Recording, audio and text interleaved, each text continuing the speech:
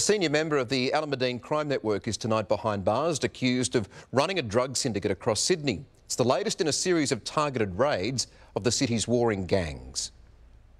An almighty bang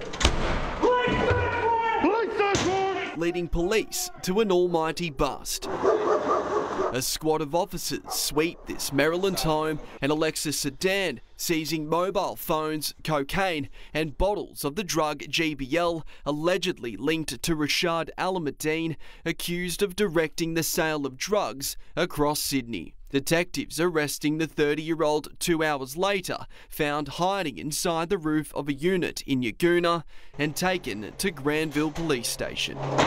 The alleged kingpin was charged with four offences, including directing activities of a criminal group and the supply of almost 8 kilos of the drug GBL.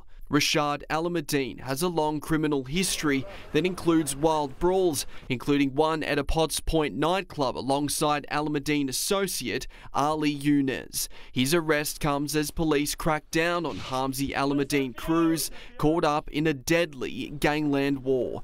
Residents at the home remained tight-lipped. I was just wondering if you guys, um, we could ask you a few questions no, about what happened yesterday. thank you, thank you. While his lawyer was instructed only to say, uh, we won't be making any comments at this stage. Rachad Alameddine appeared briefly via video link today wearing the same clothes he was arrested in, having spent the night behind bars. His lawyer made no application for bail.